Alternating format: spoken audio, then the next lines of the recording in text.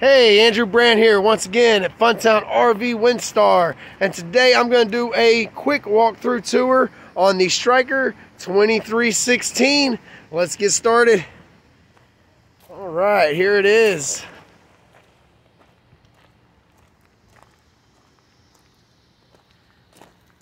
Okay. Right here you got your cover for your 30 gallon or 30 pound propane tanks power tongue jack, and your battery. Some nice LEDs here in the cap. It is the one key system as advertised right here on this door.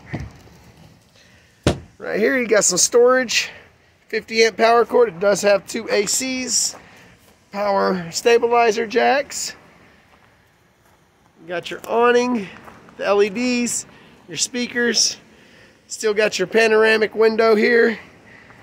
And your TV mounting bracket. Let's go ahead and walk around back over here. There's your back door. I'm going to open it up for the full tour. This is just a quick tour here. I'll open that up when I do a full interior and exterior video. Let's go ahead and go inside. It does have the gas pump on the other side and it is prepped for generator. Okay, here you go.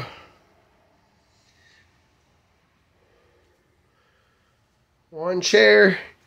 There's your HappiJac bed system, your interior speakers, your AC here in the main room.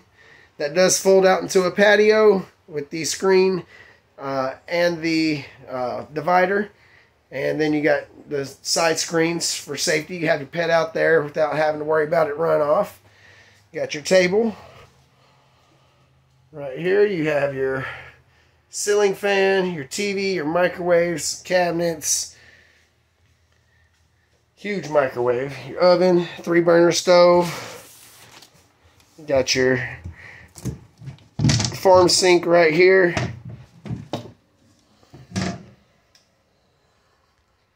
Some overhead storage there, overhead storage here.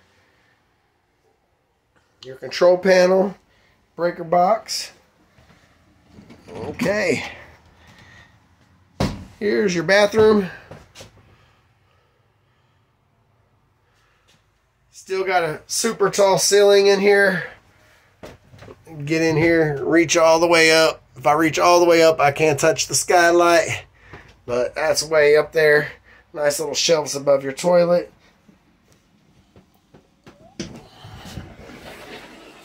Got two accesses into the bedroom.